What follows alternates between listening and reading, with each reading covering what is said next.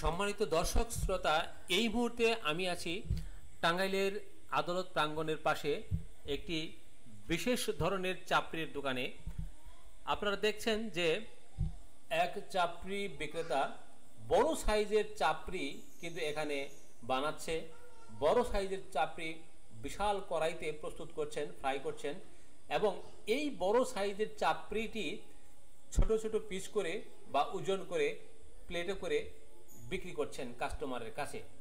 আর কাস্টমাররা এই মজাদার সুস্বাদু চাপড়িটি খেয়ে বেশ তৃপ্তি পাচ্ছেন। আসুন, এবার আমরা জানি এই বিখ্যাত চাপড়ি সম্পর্কে।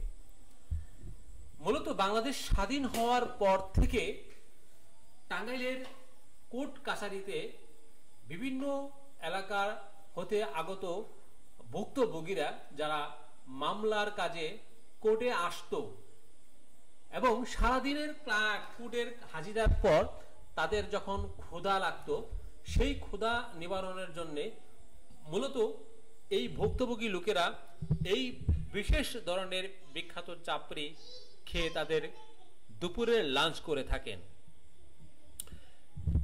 এই চাপড়িটি শুধু আদালতে আসা বিভিন্ন পেশার মানুষের কাছেই অধিক মানে পছন্দের নয়, এখানে বিভিন্ন এলাকা হতে আগত পর্যটকরা এবং এই এলাকায়, এলাকার সিএনজি চালক থেকে শুরু করে রিক্সা চালকেরা এই বিখ্যাত চাপড়িটি আনন্দ সহকারে ও তৃপ্তি সহকারে খেয়ে থাকেন। আমিও গিয়েছিলাম এই বিখ্যাত চাপড়ির স্বাদ নিতে।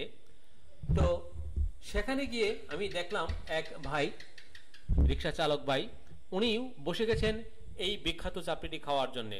ওনার সাথে কথা বলে দেখলাম যে উনি কেন এই বিখ্যাত চাপড়িটি খাওয়ার জন্য মূলত এই মোবারক বাইয়ের দোকানে আসেন।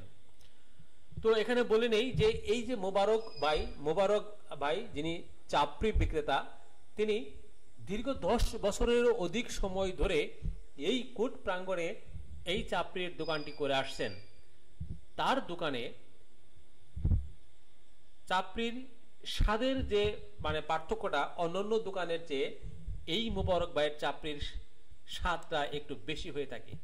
এ কারণেই বিভিন্ন পেশার লোকজন মূলত এই দোকানেই চাপড়ি খাওয়ার জন্য আসেন। তবে আমি যে সময়টাতে গিয়েছিলাম, সেটা ছিল মূলত সকাল দশটার সময়। আর এই সময়টাতে কাস্টমারের আনাগোনা একটু কম ছিল। কারণ দুপুর বেলাতে মূলত কাস্টমারদের বীর জমে যায় এখানে। এখানে দেখতে পাচ্ছেন যে সারি সারি কয়েকটি বেঞ্চ রাখা আছে। এসব বেঞ্চে কাস্টমারকে নাকি জায়গা দেওয়া যায় না। এত কাস্টমার এখানে চাপে এই বিখ্যাত চাপড়িটি খাওয়ার জন্যে। মূলত চাপড়ির স্বাদের কারণেই মোবারক বাইয়ের কাছে অন্যান্য দোকানের চেয়ে এই দোকানটাতেই ভিড় বেশি জমে। কারণ হচ্ছে মোবারক বাইয়ের হাতের কারিশ্মাতে এই চাপড়ির স্বাদটা একটু বেশি হয়ে থাকে। আশেপাশের যত পথচারী এবং দোকানদাররা আছে, তারাও মূলত এই মোবারক ভাইয়ের চাপড়ি খেয়ে মানে বেশি তৃপ্তি পেয়ে থাকেন। তো আজকে আমরা চলে আসলাম সেই মোবারক ভাইয়ের দোকানে। আপনাদেরকে দেখাতে চাচ্ছি যে মোবারক ভাই সেই বিখ্যাত বড় সাইজের চাপড়িটি কেমন করে তিনি প্রস্তুত করে থাকেন, কীভাবে ফ্রাই করেন, সেই কারিশমাটা আমরা আজকে দেখব। আমরা দেখতে পাচ্ছি মুবারক ভাই বড় সাইজের একটি কড়াই নিয়েছেন। এখানে তিনি তার বিখ্যাত চাপড়িটি ফ্রাই করবেন। চলুন আমরা দেখি মোবারক ভাই কীভাবে তার বিখ্যাত চাপড়িটি ফ্রাই করেন।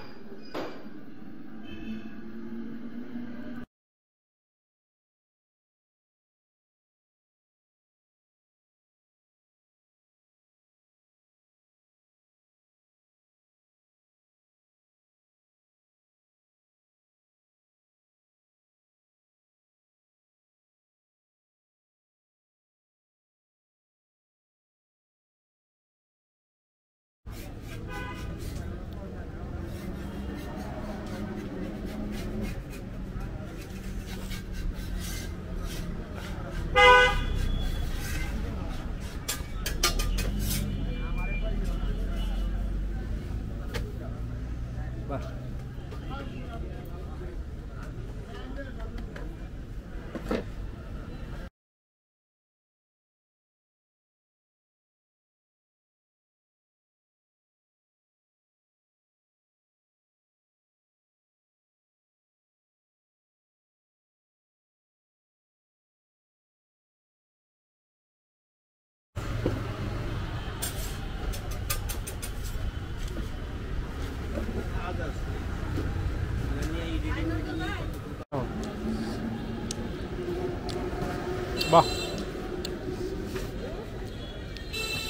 বিশাল সাইজের চাকরি